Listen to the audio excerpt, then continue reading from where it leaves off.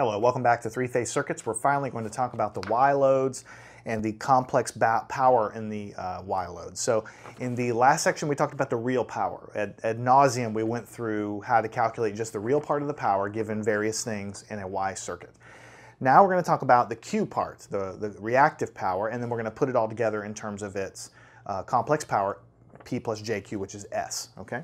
So we're gonna start from the same exact starting point. We have the P, which you can calculate with any circuit element, and the Q you can calculate for any circuit element. And I'm gonna kind of go through this a little faster because we've done a lot of the groundwork in the last section. So we can say the per phase Q is the per phase Q.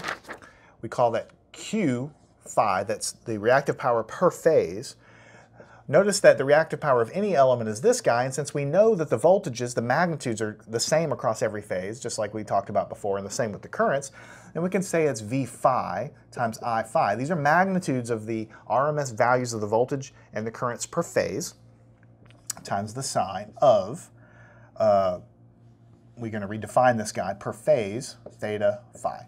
So this is extremely similar to the equation we had for P, the, the, real, the real power per phase.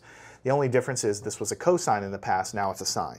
And that's just because here, so for per phase, they're all the same. Per phase, they're all the same. Per phase, this difference is all the same, so we start here.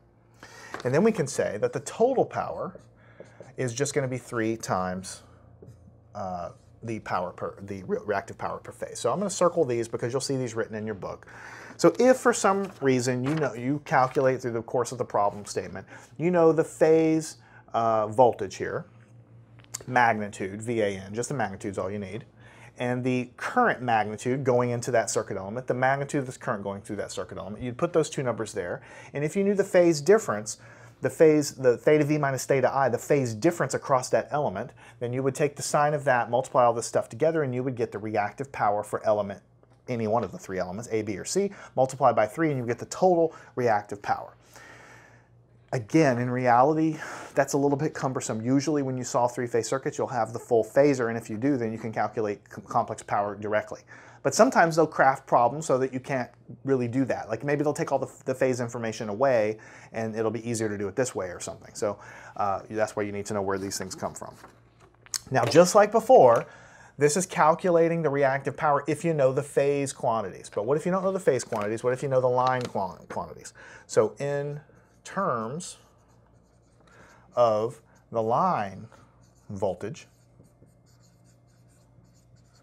right? Because remember, line voltage and phase voltage is different for a, uh, for a Y circuit.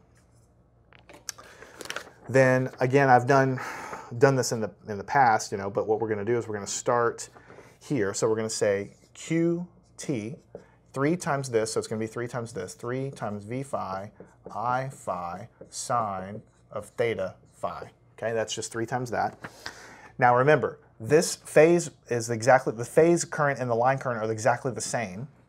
Phase current and line current are exactly the same. But the voltage is different. And we've gone through this in the last section. So what you're going to have here, just so we don't regurgitate the same things over and over again, you're going to have three. Open up a parentheses, you're going to have VL, the line voltage, divide by the square root of 3. Then IL is exactly the same as I phase and line current are exactly the same, so we're going to leave it there. Sine of theta phi. And then we can do the same, getting rid of the square root on the here, multiply by square root of 3 over 3. Simple.